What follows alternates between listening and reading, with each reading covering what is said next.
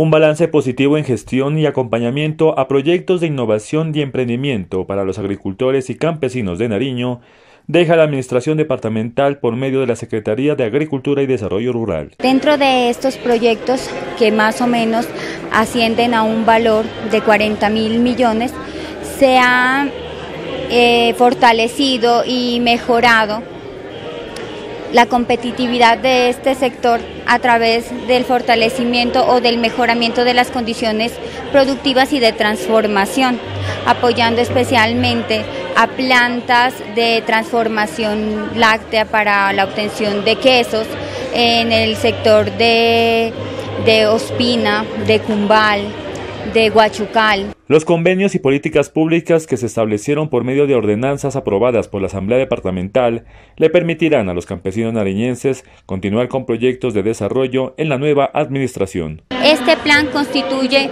un pilar de trabajo para el Departamento de Nariño, para las instituciones que trabajan por el sector rural en el Departamento de Nariño, de modo que se trazan unas metas a 20 años muy importante poder articular ese trabajo institucional para poder alcanzar estos objetivos que sin duda alguna, alguna le causan gran beneficio a nuestros campesinos. Uno de los temas que no fue culminado por la administración departamental fue el del COMPES agropecuario firmado entre la comunidad campesina y el gobierno de Nariño.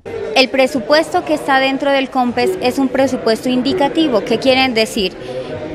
Que si bien se había proyectado hacer unas inversiones de aproximadamente 1.2 billones, dentro de ese mismo documento se han proyectado cumplir unas metas. Por lo tanto, el mensaje que nos han dado por parte de las entidades nacionales es que independientemente del presupuesto que se pueda invertir en el cumplimiento de estas metas, lo importante es cumplir esos indicadores y las metas, y a lo cual ellos nos reportan unos indicadores de alrededor del 80%. El balance fue presentado en rendición de cuentas de la Administración Departamental en el periodo 2016 a 2019.